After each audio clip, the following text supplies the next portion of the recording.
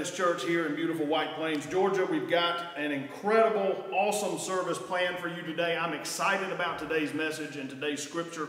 I have, uh, to give a little prelude to that, I have been going by the lectionary that tells pastors this time of year this is what you ought to be preaching on. Here are some suggested Bible verses. I am stepping out of that. I know the Lord has told me I believe in my heart that what I am going to preach to you about today is something that the Lord wants us to hear. Um, and, and so I'm going with it. I'm going with it this morning. Uh, but before we do anything else, let's open today's service with prayer. If you'll bow your heads with me. Heavenly Father, we lift ourselves up to you this morning. We ask for your forgiveness for our sins. We ask that you lead this worship service today. We ask that the words that come from my mouth be what you want them to be, and that they lay on the hearts of those that are listening and watching this morning exactly what they need to hear. Because only you can do that, Lord. We thank you for your Son, Jesus Christ. And at this time, we want to pray together that prayer that your Son taught us to pray. So join me. Our Father, which art in heaven, hallowed be thy name. Thy kingdom come, thy will be done on earth as it is in heaven. Give us this day our daily bread, and forgive us our trespasses as we forgive those who trespass against us. And lead us not into temptation, but deliver us from evil. For thine is the kingdom, and the power, and the glory forever. Amen. We've got uh, some announcements this morning that I, I need to make. Uh, first, let me uh, give you an opportunity to grab a pen and your prayer list. If these aren't included, I'm asking you to keep these in your prayer list to pray throughout the week. We, of course, want to pray for an end to this uh, COVID-19 pandemic and for the safety of our families and for the first responders and the healthcare workers uh, who are battling every day on this. Uh, pray for Roberta Smith, uh, Alex and Charlotte Neal, Camilla Wilkes, Chuck Adair, Don Ellis, who's battling heart disease, Don Skinner, Chris West, and Ann and Richard Smith. A couple of celebrations from my hometown that I want to share with you. Um, I want to announce the engagement of two very dear friends of mine, Jennifer Rainey and Mark Lassen. Uh, we went to school together, we graduated together, and now they have reunited some 30 years later and are going to be getting married, and they've asked me uh, to handle that service. So I am just totally stoked and excited about that. Uh, it's a real special time. I want to congratulate all of the high school seniors, college seniors too, but uh, it's a little more, I believe it's a little more special in high school. Uh, more high schoolers will traditionally walk, accept their diplomas. It's a big event uh, in the lives of, of, all of our young adults. Sometimes in colleges they don't do it, and, and I know with the, uh, the state of affairs as they are now, they're not. But two in particular, I want to congratulate are Jenna Mullis and Kate Embry. Those two fine young ladies have been interning at my law office in Eatonton for some time now. They are two totally different personalities, but two totally perfect young ladies. Jenna is the valedictorian of the Putnam County High School class. Kate is the salutatorian of the Gatewood High School class. So we had two of the smartest young adults in this lake area working up there with us and two just beautiful, inside and out, wonderful young ladies. I want to congratulate them because they're special uh, really to mine and my wife Brandy's heart. Um, but I want to extend that to all of you high school seniors and graduating. I'm sorry you didn't get to graduate the particular way you did, but the way things are kind of shaping and working out, I think in some ways it, it's getting to be a little more meaningful. So um, I hope that is the case for you. We've got a special children's message uh, this morning. We're going to have prayer, uh, special music. We're going to set uh, aside time for our tithes and offerings. Uh, the scripture this morning is from the book of Matthew, chapter 6, verses 25 through 34. Matthew 6, chap chapter 6, verses 25 through 34. The other announcements I need to um, relay to you the May 23rd tractor pull is canceled. We do not anticipate resuming in-person services until after June the 22nd. This is to be in compliance with the governor's shelter-in-place order uh, that's through June the 12th uh, for the medically fragile and for the bishops, our bishop's recommendation not to resume services until after June the 22nd. Uh, Melvin has appointed a health and welfare committee uh, here at Liberty uh, to make plans for keeping us safe when services do resume. Uh, so be on the lookout for cleaning and sanit sanitizing supplies, which we will be needing when that time does come. The good news that I was uh, mentioning and alluding to last week, I'm going to unveil just a little bit today. We are working on developing a website for liberty. Next week, a proposal will be sent to you church members of Liberty via email.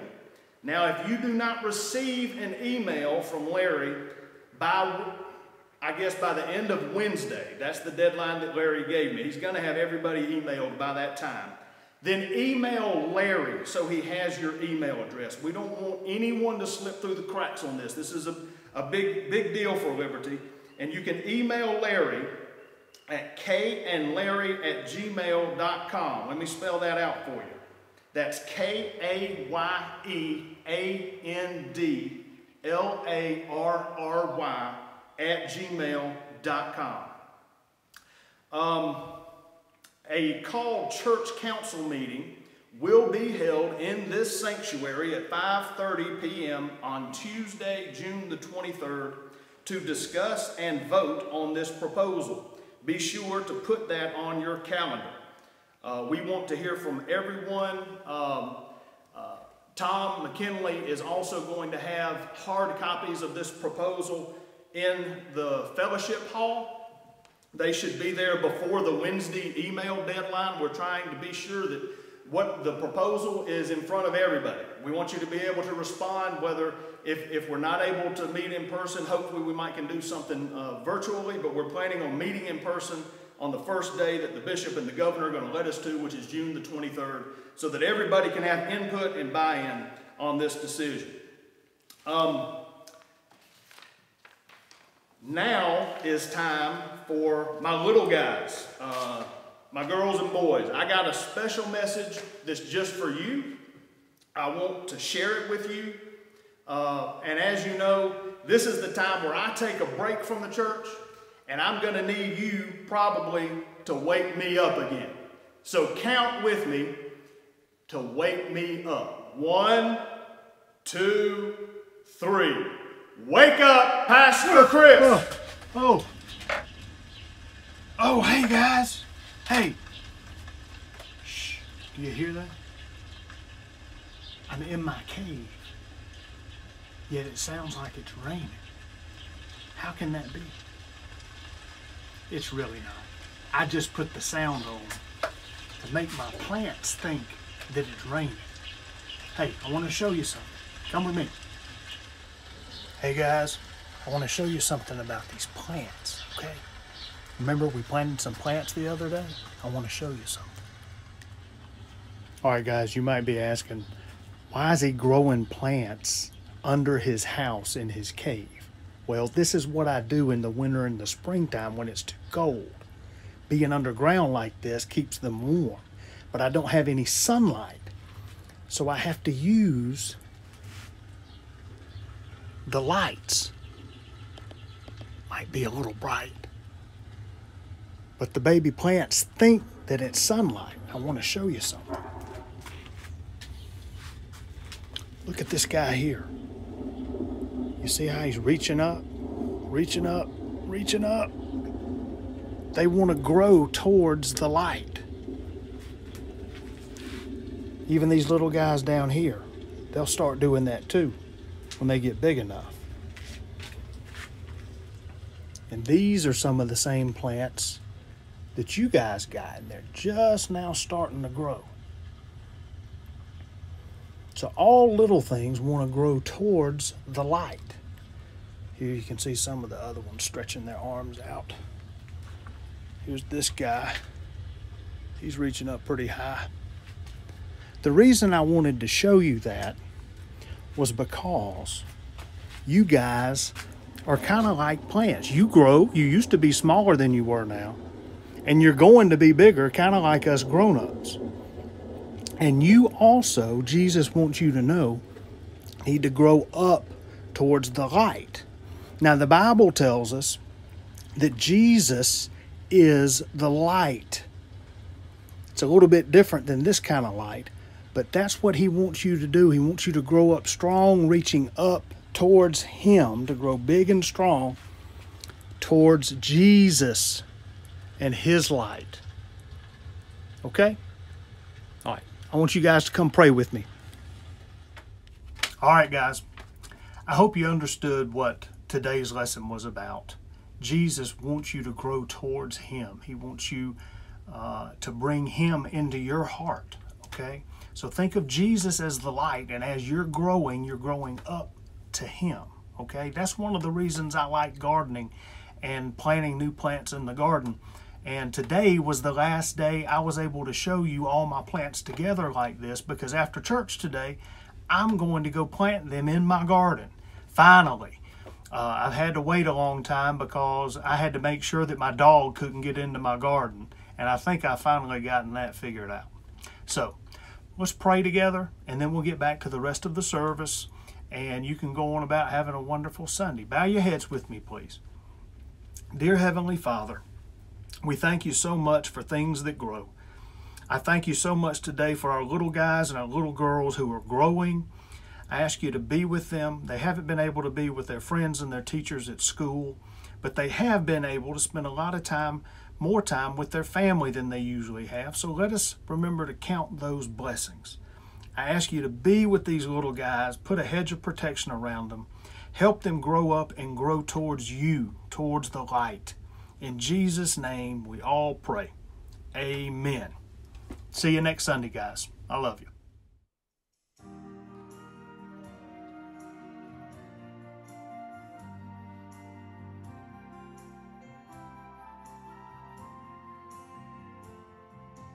Oh.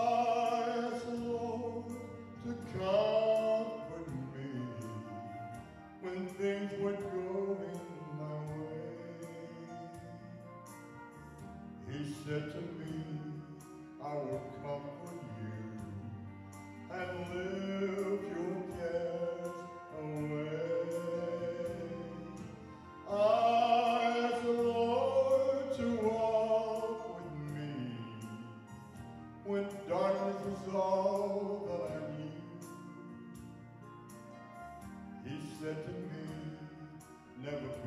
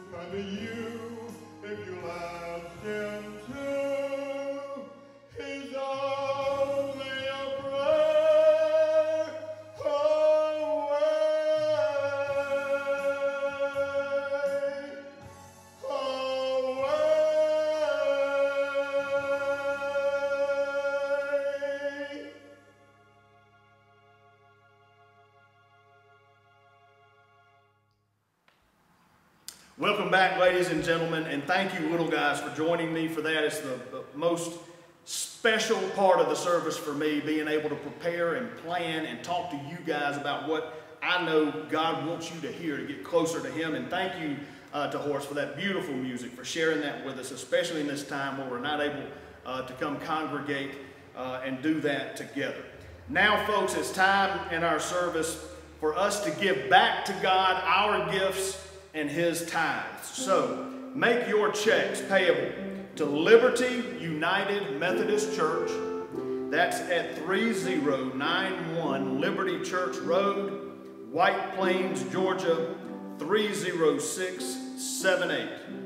Heavenly Father, we ask that you bless all those at this time who are writing checks back to you, back to this church and to your kingdom, to be used for your kingdom. We ask that you take these and bless them and use them in this community, in this state, and in this world to further your word and to your purpose. In Jesus' name we pray. Amen.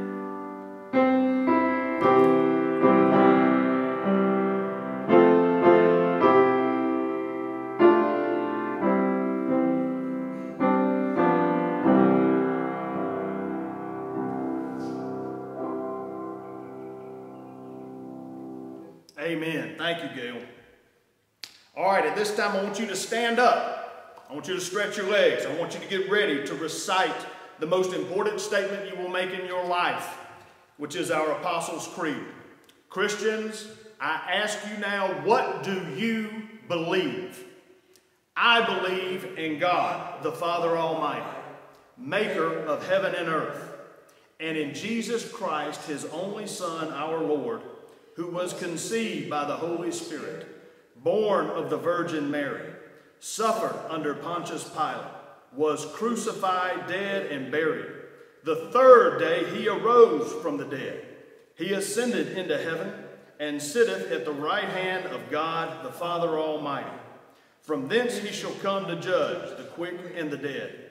I believe in the Holy Spirit, the holy Catholic Church, the communion of saints, the forgiveness of sins, the resurrection of the body, and the life everlasting. Amen. And you may be seated. So I want you to grab your Bibles and I want you to read with me. Now, first, I'll tell you, and you can see where we're beginning in my Bible, that the ink in this Bible is red. And do you know why it is red? Yes, it is, means it is Jesus talking, but it is read because it needs to be read. So join me. Jesus is talking. Therefore, I tell you, do not worry about your life, what you will eat or drink, or about your body, or what you will wear. Is not life more important than food, and the body more important than clothes? Look at the birds of the air. They do not sow or reap or store away in barns, and yet your heavenly Father feeds them. Are you not much more valuable than they? Who of you, by worrying, can add a single hour to your life? And why do you worry about clothes? See how the lilies of the field grow. They do not labor or spin. Yet I tell you that not even Solomon in all his splendor was dressed like one of these. If that is how God clothes the grass of the field, which is here today and tomorrow thrown into the fire, will he not much more clothe you? O you of little faith. So do not worry, saying, What shall we eat, or what shall we drink, or what shall we wear? For the pagans run after all these things, and your heavenly Father knows that you need them. But seek first his kingdom and his righteousness, and all these things will be given to you as well. Therefore, do not worry about tomorrow, for tomorrow will worry about itself. Each day has enough trouble of its own. This is God's word for us, the people of God. Thanks be to God. So, I am titling today's message. I'm worried about being scared, and I'm afraid I'm about to worry about something. There is so much fear and worry, even more so than normal, that we are allowing to creep into our minds. And that's exactly what it does. Worry creeps into our minds. And then it starts digging. And then it starts spreading into other things. Then we become fearful of things that we have no control over. Sometimes we worry about the past, things that we've done in the past. And what good is that? We can't change the past. You can't roll it back. We worry about things that are going on now that we have no control over. The problem with worrying, aside from the fact that it's not productive, is that it's not even religious. I'm going to share with you a statement I heard by one of the best pastors who has ever lived. And his name is, many of you know him, John Hagee. I was listening to one of his sermons one time, and he made this statement, and I believe it to be true. Pastor Hagee stated, Worry is interest paid on trouble that never happens. Let me say that again. Worry is interest paid on trouble that never happens. Now, I'm not going to stand here before you today and tell you that I've never worried about something. But what Jesus is telling us, when we worry, we just expressed the lack of faith in God. God is going to take care of us, and if we worry otherwise, we're telling God, we don't need you. When you worry, you are making a statement to God. I don't trust you with this, God. When you begin to fear that there's going to be a negative reaction to a decision that you're going to make to do the right thing, you just told God, nah, I'm not letting you handle this one, God. I'm trusting the devil on this one. When you're worried or fear that leaving your comfort zone, whatever that may be,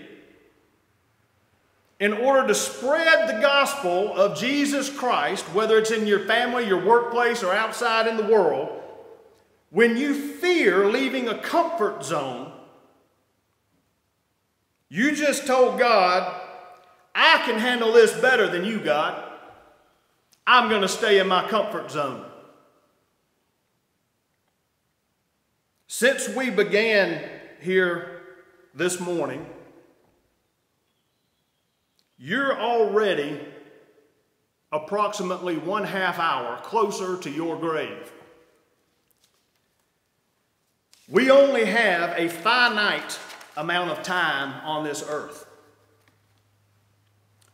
Worry eats and consumes lifetime. Let me say that again because I'm not talking about a lifetime. I mean the time of your life. You have a certain amount of it. How much are you going to give it to the devil and to worry? Because that's what it does. It chews it up so that you can't use the power through God to do the things to make your life joyful, peaceful, and fulfilling. It eats it up. It clouds your thoughts. It's like a, a mental and spiritual cancer that takes it puts you to convincing yourself that you can't do it. And you don't have any control over these things. But I do. I call it my mind going down in Alice in Wonderland rabbit hole. Once that one worry ekes in to my thoughts, well, it'll spread. And I'm like, well, and if that bad event happens, then, then this is going to happen, and then this is going to happen. And, and all of a sudden, I'm worrying about so many things going wrong and negative in the future. Not only have I hurt my own health, you know, worrying is the biggest cause of stomach ulcers and a lot of the coronary problems that we have. Health, it's a medical fact. Just worrying.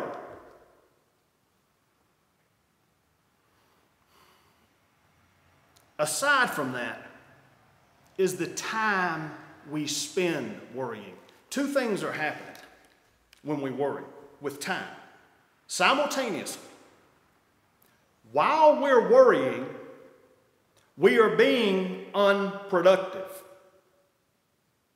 But also, while we're worrying, we're taking up time in our life where we could have accomplished something more powerful, where we could have accomplished something that is more peaceful, where we could have accomplished something that's more joyful.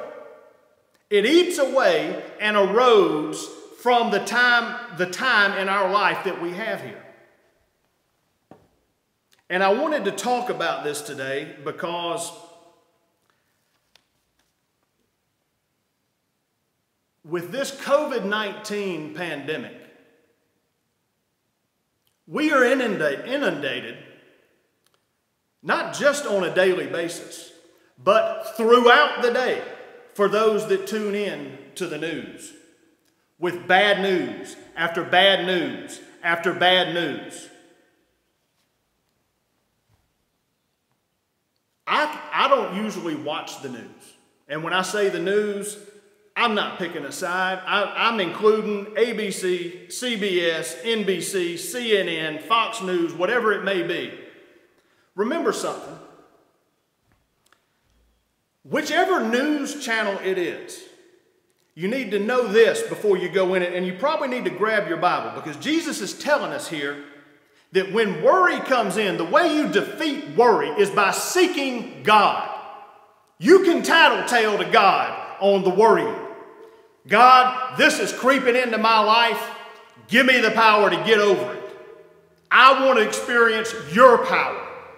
I don't want to be debilitated by the worries of this world, by devil, the devil injecting these worries and thought into my life it takes me away from doing what you want me to do. So sit down, when you sit down in front of the news, I want you to know this.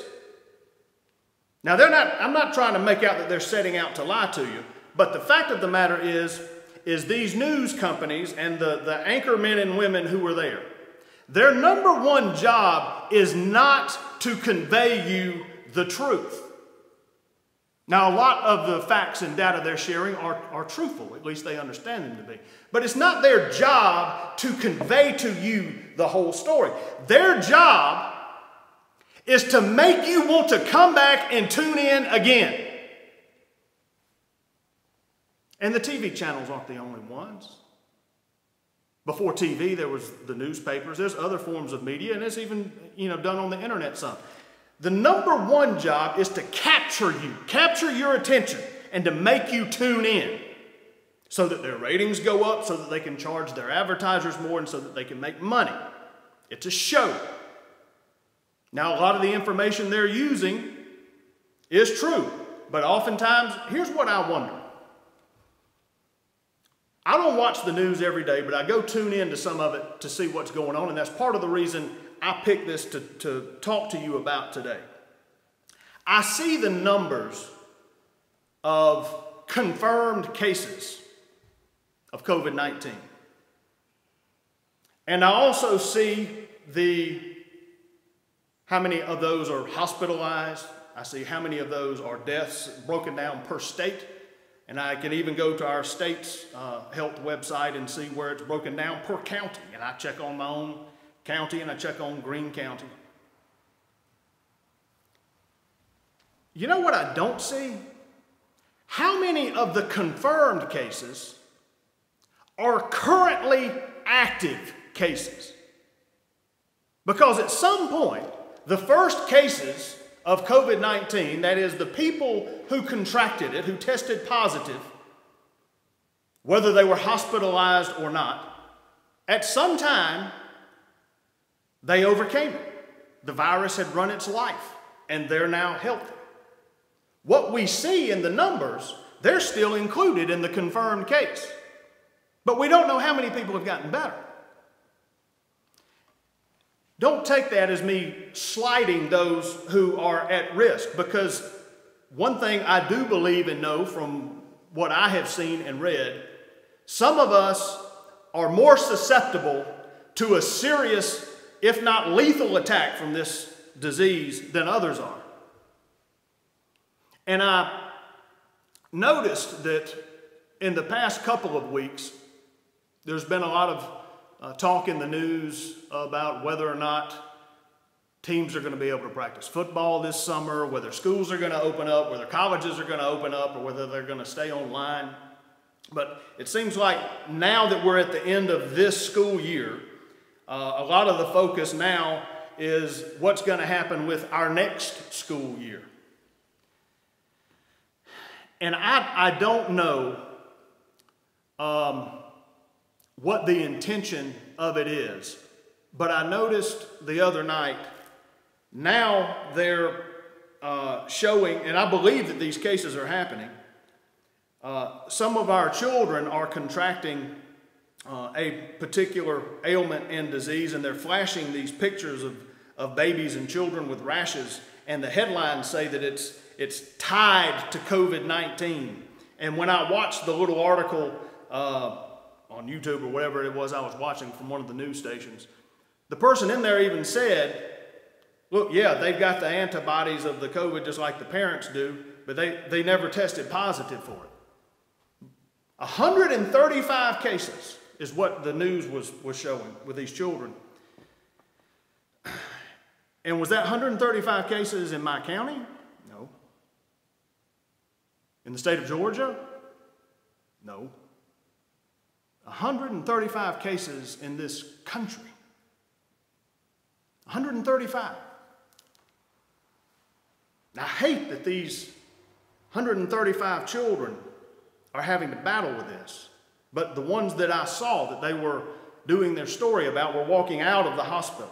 And the doctor said, It's not like COVID. We can treat this. We can handle this as long as you get them to the medical care. But they're flashing up these numbers. It's almost as if we're supposed to start fearing for our children now. Jesus wants you to know you don't throw caution into the wind. You don't run across a street without looking both ways. You don't enter into the public without keeping your social distancing and your mask. But if all you're pumping into your brain and into your heart are things of this world, and you're not filtering it through what Jesus taught us about God, the devil's going to win. He's going to win with worry. He's going to win with fear. And when he does that, he has debilitated you from the power that God has for you while you're on this earth. You know, the Bible says the devil came to seek, steal, and destroy. The biggest thing he can destroy is time. If he can take up your time worrying about things that you don't have control over, if he can take up your time diverting you from God, and, and he'll trick you. He'll trick me, he'll trick the rest of you if you don't have the power of God with you. If you don't give your life to God, and you expect to take the devil on and the evil of this world one on one, you're going to lose. The devil will make you think you're going to win. Your little successes, whether financial, in your workplace, things like that. If he can get you focused on the things of this world, on succeeding through the things of this world, without having God in the picture, he wins. He turns you away from God. Don't let worry infect your ability to consume God's power He's got for you. God is going to take care of you. That's what Jesus just told us in the Bible. And He went a little further. He said, All right, you don't believe me? Let me give you some proof. Look at the birds. Birds don't worry. God takes care of them. Birds have enough to eat, they have the materials to make their nest. One of my favorite animals, probably my favorite, probably because of my physical resemblance to the same, is the polar bear. Now they're up in the Arctic. It's just barren ice everywhere. But God gave the polar bear the ability to stay warm, to be strong enough to bust through the ice, to eat and to drink. He's taken care of all of these things that are beneath us. And the Bible tells us that the plants and the, the animals of this earth are for us. He gave us the ability to have a free will and to make decisions.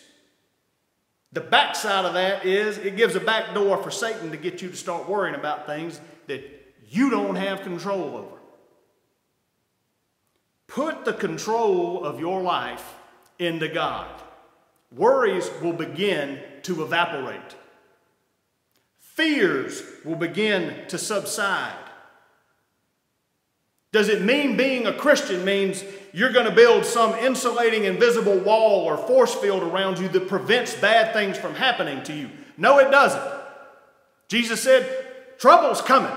Let the trouble be the trouble.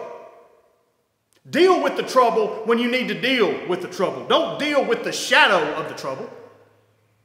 The shadow of a sword never cut anybody. Deal with the sword when you deal with the sword.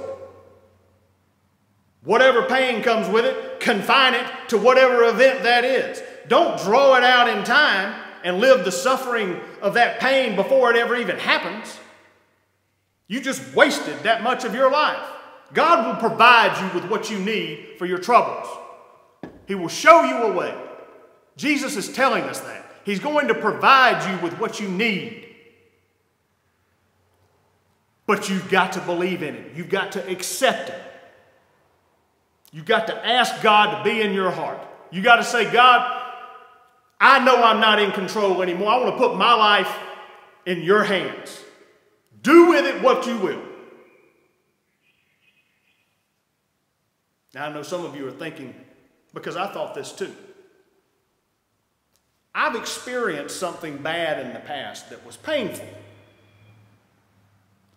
Doesn't it make sense that I should worry about that happening again so that I avoid it?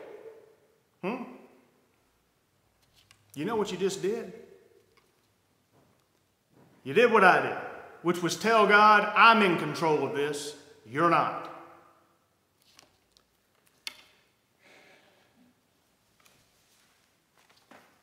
You're not using the power of God where He needs you to work when you're allowing your thoughts and your feelings to be occupied by this worry and fear. And that worry and fear in some ways does exactly what this virus we're combating does. I saw where uh, some Japanese, I don't know if they were Japanese scientists, doctors, uh, what have you, but they did this experiment uh, to try to show how a virus spreads. And they did it by using the black lights. They had one person in a setting of uh, maybe 20 people, and they were trying to duplicate the scene of a, of a buffet on a cru cruise ship and, and the eating area uh, of the buffet. And so for this one person, they put this particular cream on his hands. Now, they loaded him up pretty doggone good, okay? Uh, which, first thing it tells you is if you wash your hands, you're not going to have this problem. But anyway, they put this particular cream on his hands. They cut, they allowed him to work in the light. Everybody went and fixed their meal, poured their water, did what they did. And then they went back and showed the video with the lights off and the black lights on. And it was scary. Everybody had this translucent cream on them somewhere. It was on every glass, it was on every pitcher. Once somebody touched something, it went to the other one and it spread. Worry does the same thing. It's why I, I refer to it and I think of it as a, a, spiritual cancer because it spreads. It's not just one worry and it puts bookends on itself and stops. It spreads. And then we convey worry to others, to our children. And then they may become fearful. But it, it spreads through our mind and through our heart like a virus, infecting more areas of our decision making. It's robbing us of the joy and peace that God has for us. It's preventing us from doing the things that God would have us do. And it's destroying our life because it is stealing our lifetime. Amen. And I want you to receive this benediction. The benediction I have for you is not from me, it is from King David. And it is our 23rd Psalm. King David, in this hymn of praise, said, The Lord is my shepherd. I shall not want. He maketh me to lie down in green pastures. He leadeth me beside the still waters. He restoreth my soul. He leadeth me in the paths of righteousness for his name's sake.